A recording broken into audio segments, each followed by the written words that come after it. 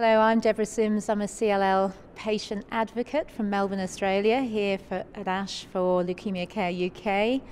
Hi, I'm Dr. Brian Koffman. I'm a CLL patient myself, and I'm the Chief Medical Officer at the CLL Society. So I work as an advocate and educator and researcher in CLL. Published some uh, uh, abstracts and a poster here at ASH.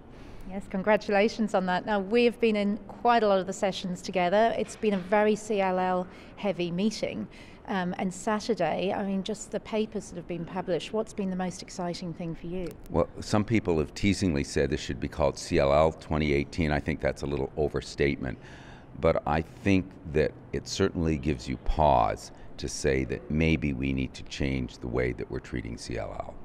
Because we've seen over the last several years all kinds of new targeted therapies. But until this paper, we hadn't seen, uh, this ASH meeting, we had not seen these new targeted therapies compared to the gold standards, the best in class other options that were there. And these weren't small studies, these were large studies. So let me talk about two of them that I think are critical. And they were both done in large cooperative kinds of ways, and they were both done to complement each other. And one compared FCR, and that just came out this morning in a late breaking abstract. And what was amazing about that is they broke the glass and looked at the data early, and the data was so shatteringly good. They said it's unethical not to publish this data. We need to get this out ASAP. And what that data showed was that using FCR, fludarabine, cyclophosphamide, and rituximab, which has been the gold standard on younger patients, in this study it was under 70, uh, versus ibrutinib and rituximab. Ibrutinib is a new medication, rituximab is a monoclonal antibody. Both of these are not chemotherapy in sort of the classic sense. And the response rates were better with ibrutinib, rituximab. The, the progression free survival, fewer people progressed, statistically significant differences.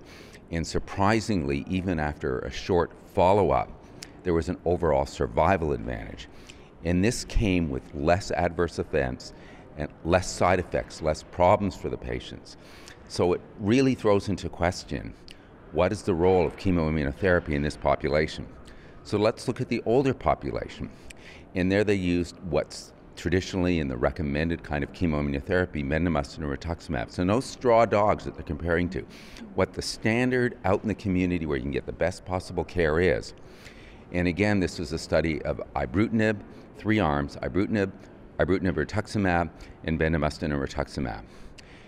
Uh, one interesting thing I'll say is the ibrutinib and the ibrutinib rituximab data kind of, you couldn't separate them out. They were almost identical. Both of them were vastly superior in terms of the progression-free survival, the response rates compared to uh, bendamustine and rituximab. So again, it's saying this is our best chemoimmunotherapy for the older population, it's not as good as an ibrutinib based therapy. For our younger population, it's not as good as the uh, uh, the chemotherapy is not as good as an ibrutinib based therapy. So it really says, you know, are we putting the nails in the coffin of chemoimmunotherapy? So much hope for newly diagnosed patients. Um, they may never have to have chemotherapy, depending on where they live in the world and how quickly these drugs are made available to them. Let me just add one other thing. Uh, Dr. Byrd updated his data, and now we're over seven years out, and more than 80% of those patients are doing great on ibrutinib seven years out. Yeah. Yeah. What, who would have thought? I mean, how long were you on ibrutinib for? So I got about six and a half years, and that was with 17p deletion, Notch 1, complex karyotype, mm. failed bone marrow transplant. I mean, about as bad as you can get, and I got six and a half years out of it. yeah. yeah. I also was um, intrigued by the, um, the the new trials going on for Richter's syndrome. I mean, right. that that's uh, the U2, and I can't, you'll right. be able to name yeah. the drugs, the right. ubliximitab or whatever, but. Ubla, uh, yeah. Ublituximab and um, umbralisib, yes, yeah. right, and Pemblo, and yeah. So, yeah, so Richter's transformation is still a significant unmet need in CLL, and this is where CLL turns bad and turns into a more aggressive, usually diffuse B cell lymphoma. So, we haven't had good treatments for this. The only thing that tends to help people is uh, allogeneic stem cell transplant, which is a very high risk procedure, and even then. And you have to get the patient there. Like yeah, you have to get educate. the, the disease at a low enough state. So people are looking at combinations, and one of the agents that they're looking at now is what are called checkpoint inhibitors, which take the brakes off the immune system. These have been used in CLL, but not with much success. They've been helpful in Hodgkin's and other diseases, but not in CLL. But it turns out when they're combined with a kinase inhibitor and a monoclonal antibody, they got they were able to report on four patients. Two of them got very strong and durable responses. I wish it was four to four, but two of them did. And this is very encouraging and suggests that maybe we can pick it up. And they're trying to tweak the uh, tweak the uh, combination, the cocktail that they're using, maybe use some a stronger checkpoint inhibitor, more specific. And this Uh, was without R-CHOP. I mean, that's what I was intrigued. They, Right. they, they didn't use R-CHOP with it. This is again a non-chemo approach, uh, which is it's, so it's very exciting the direction things are going in in the CLL world. Now you talked, you mentioned unmet needs there. One unmet need that Jennifer Brown referred to was people when they are relapsing on the novel therapies. So they've failed chemo, or chemo's failed them. Um, you know, they they've gone on to a BTK inhibitor, whichever one. They've relapsed on that. They then go on to a BCL2, onto venetoclax. If they start relapsing on that, these patients are in a lot of trouble. Um, what, you know, what? I mean, we're talking CAR T at this stage, really, aren't we? I mean, that's that's what's So there's there's still a couple options that are out there before CAR T. Mm.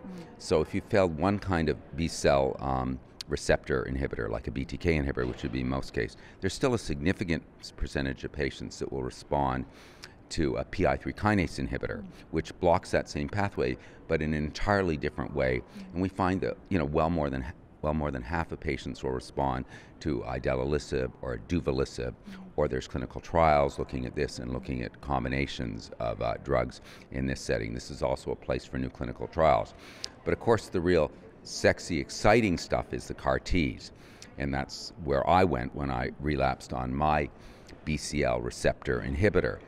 And the CAR T therapies, again, very early, very small data. I wish there was 20 year follow up but it's looking like a significant percentage of these patients, and these are the kind of the worst of the worst patients, these kind of what I call double refractory, this huge unmet need. You failed, uh, as you pointed out, a B cell receptor inhibitor, and you failed a BCL2 inhibitor. These patients didn't have a lot of options. Although I, I was interviewing Dr. Saar Gill before Yeah. Mm. from the University of Pennsylvania, they performed CAR T on patients that had only had ibrutinib. Right. They hadn't had any. I was really surprised by that. So, as you know, all drugs begin with the worst of the worst, mm. and then as we begin to understand their adverse events and we can tolerate them better, they get moved closer and closer. Some people talk about could we be moving CAR T up the line? Could CAR T be a potentially curative therapy? Because one of the concerns is in CLL, if your T cells have been beaten up, we can't harvest them, we can't get them to do the work. But the data on CAR T is very encouraging, again, short, but we're getting response rates that are reported here and in other places in the 70, 80% in CLL, which, and this is most difficult uh, to treat uh, population. And a lot of these responses, if you get them deep enough, seem to be very durable. We, again, we don't have 20 year data, but we have like two year data, and we have individual, like a handful of cases of patients that are now seven years out post CAR T that have no evidence of CLL.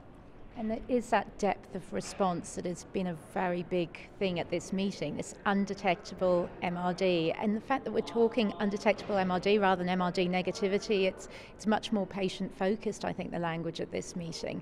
Um, what are the benefits of this now being the uh, end goal for treatment? Because they, doctors weren't. I remember IWCLL in New York. Remember when they we had a room full of doctors. Everyone had to say, you know, press a number on the on their handheld devices to say what their end goal for treatment was, and it was something like only 20% were going for no disease. This is now all about eradication of disease, isn't it? Right. So I'd throw one caveat at that. And when I talked about those great numbers for ibrutinib, very few of those patients are MRD negative, if any. So I'm happy if you control my disease. If you control my blood pressure and I have to take a pill every day, I'm fine with that. You know, reduce my risk of a heart attack and stroke, I'm fine. You don't have to wipe out my blood pressure. So I think that there is a group of patients. But the, obviously, the holy grail is can we stop therapy? So here's what we need to be able to do we need to have a fixed duration therapy and it would be nice if that was non chemo.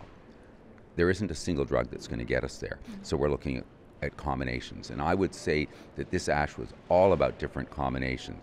Ibrutinib and rituximab, ibrutinib and venetoclax, venetoclax and rituximab, venetoclax and obinutuzumab, all these different combinations and novel agents uh, that are being used in combinations. So I think that this is where we're going, and the advantage to that fixed duration is that the cancer doesn't learn to become resistant to the cells. How do we make that decision? So there's two ways to do this, and this is still a debate that's going on. We say you get 18 months and we stop, or you get two years and we stop. But I think the more sophisticated way to stay is we're going to wait until you reach this point where we can't find any cancer. Doesn't mean that there's no cancer there, but to the best that we can do, down to one in 10,000 cells. There's even technology that may be able to go down to one in a million cells. We can't find a trace of your cancer. So why are we treating it? Let's stop. Hmm.